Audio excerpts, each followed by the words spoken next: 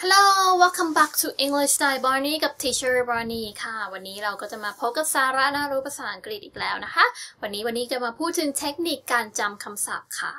ทราบว่าทุกคนมีปัญหาในการจำคำศัพท์ภาษาอังกฤษไหมเอ่ยเชื่อว่าคนที่เรียนภาษาอังกฤษทุกคนอะต้องมีปัญหาอยู่แล้ว เพราะว่ามันก็เป็นหนึ่งในปัญหาหลักๆเลยที่ ทำให้เราเนี่ยไม่สามารถพูดภาษาอังกฤษได้ หรืออาจจะทำข้อสอบได้ไม่มากค่ะ แล้ววันนี้นะคะก็เป็นเลิกงามยามดีนะคะ ที่วันนี้จะมาพูดถึงเทคนิคการจำคำศัพท์ค่ะจำยังไงจำให้ยั่งยืนจำให้ได้ตลอดไปจำแบบไม่มีวันลืมเลยค่ะ ก็คือเวลาเราท่องใช่ไหมท่องศัพท์วันนี้ก็เคยเห็นแล้วหลายคนก็แบบอาจจะมีลิสต์คำศัพท์ของตัวเองบ้าง ดูจากหลาย ๆ ที่บ้าง พยายามท่องท่องแล้วก็ท่องหน้าก็ลืมหลังท่องเสร็จลืมอีกวันนึงก็ลืมอีกอาทิตย์หนึ่งก็ลืม เราทำยังไงดีให้มันไม่ลืมอะท่องไปก็เสียเวลานะ เวลาท่องเนี่ยมานั่งอ่านนั่งท่องเนี่ย D U C K ดักเป็ดอะไรอย่างเงี้ย อ่านไปก็เสียเวลาเราท่องไปสองสาวันลืมเราเอาเวลานั้นไปทำอย่างอื่นดีกว่าไหมเนี่ย ถ้าจะท่องแล้วลืมขนาดเนี้ย ก็เรามาดูเลยค่ะว่าทำยังไงดีให้จำคำศัพท์ได้ค่ะ แล้วไม่ลืมค่ะเรามาดูเทคนิคกันเลยค่ะ ก็เริ่มแรกนะคะ วันนี้ก็จะเกินก่อนเลยนะคะ ว่าคนส่วนใหญ่เนี่ยเราท่องภาษาอังกฤษกันยังไง ท่องคำศัพท์กันยังไง คือเราจะจำแบบประมาณว่าต้อง translate ค่ะ คือต้องแปล และนั่นแหละคือปัญหาหลักเลย ถ้าบางคนแบบท่องแบบนกแก้วนกขุนทองอะท่องไปเรื่อยๆนะคะ a n lambutan เงาะ R A M B U T A N lambutan เงาะ ขอบอกเลย ท่องอย่างเงี้ย โดยไม่ได้อะไรเลย แค่พูดท่องท่องไปเพื่อจำมันอาจจะจำได้นะ อาจจะจำได้สักวันสองวันเหมือนแบบเราท่อง เหมือนจะไปสอบเงี้ยแล้วเราหูยอ่านท่องท่องท่องเลย สอบเสร็จนะคะ ลืมค่ะ กอมก็จะประมาณนี้นะคะ แต่บางทีในพวกคำศัพท์เนี้ยบางทีเราท่องเสร็จยังไม่ทันใช้แล้วก็ลืมละ คราวนี้เรามาดูนะคะ โดยส่วนใหญ่คนทั่วไปจะจำยังไง ก็จำแบบเป็น translate ค่ะ ต้องแปลอย่างเช่นดูนี่เลยค่ะ มาดูนะคะ อ่า ส่วนใหญ่ถ้าเจอ อ่า เจอเงาะปุ๊บ อ่า นี่ผลนี้คือเงาะนะคะ เงาะ เจอเงาะปุ๊บเราก็จะยังไงคะ เราก็จะแบบมาเลยโยงเลย อ๋อ ผลไม้ชนิดนี้หรอ มันเรียกอิสะอิสเงาะ มันคือเงาะ อ่าแล้วแล้วเงาะภาษาอังกฤษว่าไงอ๋อเงาะเสียงนี้เสียงเงาะเนี่ย ภาษาอังกฤษคือ rambutan เงาะคือ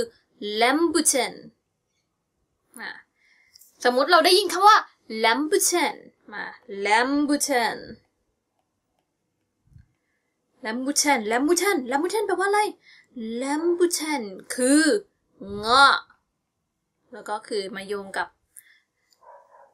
ผลไม้นี้นะคะ เราเห็นอะไรไหม เราเห็นว่ารู้สึกขั้นตอนมันเยอะมากขั้นตอนมันเยอะมาก มันทำให้เวลาเราจะพูด จะอะไรมันมันช้า หรือบางทีอาจจะแบบคือใช้เวลานานในการคิดอะค่ะ นี่คือปัญหาส่วนใหญ่ของคนที่เรียนภาษาอังกฤษเลยค่ะ ก็คือ เราไปโยงคำนี้กับคำภาษาไทย คือโยงคำว่าเงาะกับ lambutan แล้วเราต้องทำยังไงดีล่ะที่จะจำคำศัพท์ให้ได้ และ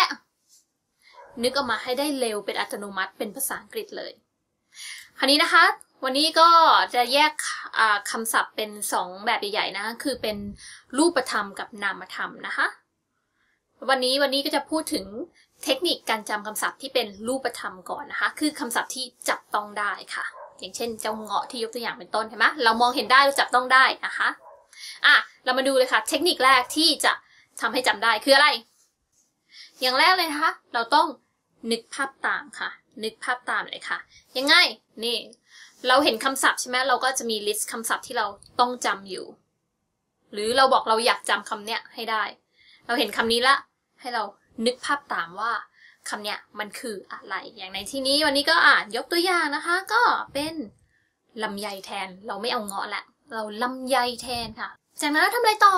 ให้เราออกเสียงคำนั้นเป็นภาษาอังกฤษค่ะ อาจจะออกพูดออกมาเลยก็ได้ หรือออกเสียงในใจก็ได้ค่ะ เพื่ออะไรก็เพื่อให้สมองเรานะคะ match ภาพเนี้ยกับเสียงนี้สมมติเราเห็นละอู้ longan ลำไยก็คือ longan นะคะ longan เนี่ยอยู่ใน list ละอยู่ใน list ที่เราต้องการจะจำนะคะ เราก็เห็นละเสียสิ่งที่วันนี้อยากทุกคนทำก็คือให้ match เสียงนี้นะคะ ก็คือเสียงที่ออกเสียงว่า longan กับ รูปภาพค่ะ กับรูปภาพก็คือเจ้าลำใหญ่นี่ค่ะ เป็นภาพในหัวของเราค่ะ เราเห็นมีลิสต์อ่ามีลองแกนเราต้องจำคำว่าลองแกนให้ได้ เราก็พูดเลย พูดในใจหรือพูดออกเสียงมาก็ได้ แต่วันนี้อยากให้ทุกคนถ้าไม่ได้อยู่เยอะเนาะอยู่คนเดียวก็พูดออกเสียงมาเลยดีกว่า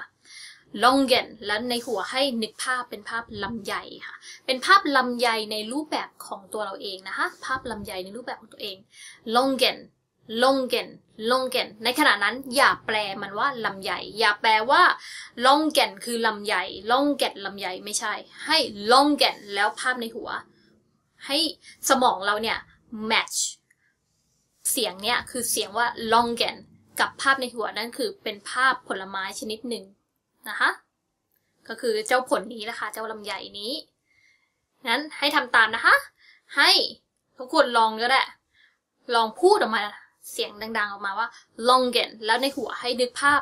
เป็นภาพผลลำไย โดยที่เราไม่ต้องออกเสียง หรือคิดคำว่าลำไยค่ะ long g a n long g a n long g a n อาจจะหลับตาคิดเนาะ long g a n long g a n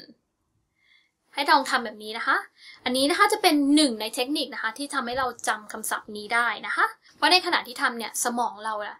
จะ match เสียงคำว่า long g a n เนี่ย ภาพภาพลำไยในหัว เพราะนั้นเวลาเราเห็นลำไยสมองก็จะแมทได้ทันทีว่าอ๋อ it's a long g a n หรือเวลาเราได้ยินคำว่า long g a n สมองก็จะนึกไปเลยว่าฟึ๊บลำไยในหัวเราคือตั้งแต่สมัยโบราณแล้วในหัวเราจะไม่ได้มีภาษาใดภาษาหนึ่งอยู่ เพราะนั้นสมองเราจะจำได้ถิ่งที่สมองเราจำได้ดีที่สุดคือ รูปภาพค่ะ ต่อให้เราพูดคำว่าลำไยภาษาไทยในหัวเราก็ต้องคิดภาพลำไยอยู่ในหัวอยู่แล้ว เพราะนั้นให้เรา match คำว่า longen กับภาพลำไยในหัวเลยจะดีกว่าไป match อีกภาษาหนึ่งค่ะ เพราะอย่างที่เห็นอยู่ขั้นตอนมันยาว เราต้องตัด และถ้าเราทำอย่างนี้ได้นะคะ เราจะคิดเป็นภาษาอังกฤษได้อย่างอัตโนมัติค่ะ และแน่นอนเวลาไปทำข้อสอบพวกข้อสอบฟังเนี่ยพอเราได้ยินคำนั้นปุ๊บสมองเราก็จะฟึบได้เลยว่าอ๋อคือสิ่งนี้ โดยไม่ต้องแปลเป็นภาษาไทย และแต่เราก็ยังเข้าใจค่ะ แต่หลายคนก็ยังมีปัญหาว่าโอ้บางคำมันจำยากอะทำยังไงดีจำยาก อันนี้วันนี้ก็จะแนะนำค่ะ ให้หาจุดจำส่วนตัวค่ะ จุดจำส่วนตัวเลย เป็นอันนี้เป็นจุดจำส่วนตัว ยังไง ก็สำหรับคำว่าลำไยนะคะ ตอนแรกที่วันนี้แบบยังไม่รู้ยังไม่รู้จักคำว่าลำไยเนี่ยว่าภาษาอังกฤษคืออะไรนะคะอ่าวันนี้ก็จะไปค้นมาช่วงแรกก็ยังจำไม่ได้หรอกเอ๊ะแต่วันนี้ใช้วิธีแบบอ๋อลำไยลำไยมันคล้ายกับอะไรคล้ายกับลองกองอ่าลองกองแล้วเพราะลำไยคือลอง ลองแกงหูขายกันเลยอะลองกองก็คือเรารู้จักอยู่แล้วเนาะลองกองคืออะไร แล้วลองแกง ก็คือเจ้าลำไยนี่ วันนี้ก็จะใช้แบบพูดแบบอ๋อพูดตัวเองอ๋อลองกองก็เป็นญาติกับลองแกงเห็นไหมลองกองลองกองก็เป็นญาติกับลองแกงพอวันนี้เห็นลำไยปุ๊บก็ลองกองลองแกง แต่เจ้านี่ไม่ใช่ลองกองเพราะนี้มันก็ต้องเป็นลองแกงอะไรอย่างเงี้ย อันนี้คือหาการหาจุดจำส่วนตัวมันเป็นอะไรที่แบบอาจจะลอกเลียนแบบไม่ได้ แต่ให้เราเนี่ยเชื่อมโยงเจ้าสิ่งเนี้ยกับประสบการณ์ใด ๆ ก็ตามส่วนตัวนะคะที่เรามีกับ สิ่งนี้ มันจะทำให้เราจำได้ง่ายกว่า อันนี้เป็นเทคนิคสำหรับเจ้าคำไหนก็ตามที่เรารู้สึกแบบโอ้ยยังไงก็จำไม่ได้สักทีอะนึกภาพก็แล้วก็ยังแบบ ยังรู้สึกว่ามันยังจำไม่ได้ ก็ลองหาจุดเชื่อมโยงใด ๆ ก็ตามที่มีกับประสบการณ์เราเอง เพราะว่าสมองเราเนี่ยจะจำสิ่งที่เกี่ยวข้องกับอารมณ์ความรู้สึกและสิ่งที่เกิดขึ้นกับประสบการณ์ส่วนตัวได้ดีค่ะ ได้ดีกว่าการแค่ท่องท่องท่องท่องไป เพราะนั้นอะไรก็ตามที่แบบมันมีแบบจุดจำพิเศษ หรือมีเกี่ยวข้องกับเชื่อมโยงกับตัวเราหรือประสบการณ์ของเราออกมาเลยค่ะ อันนี้ก็จะตั้งแต่ช่วงแรกที่วันนี้จำเนาะอยากจำผลไม้ให้ได้เงี้ยก็นั่งท่องไปอ๋อลองกองลองแกงเคยมีครั้งหนึ่งนะตั้งแต่ปฐมแล้ววันนี้จะจำคำว่า ตู้เย็น ตู้เย็นให้ได้ แต่แบบศัพท์มันยาวมากเลยตอนนั้นอะแบบ อยู่ปฐมแล้วคำว่าตู้เย็น คำว่าตู้เย็นคือคำว่า refrigerator แล้วเหมือนอาจารย์ให้ท่องอะแล้วต้องจำสะกดให้ได้อะทำยังไงดี สะกดคำว่า refrigerator ให้ได้สำหรับตอนนั้นคือยากมาก เราใช้วิธีไงไหม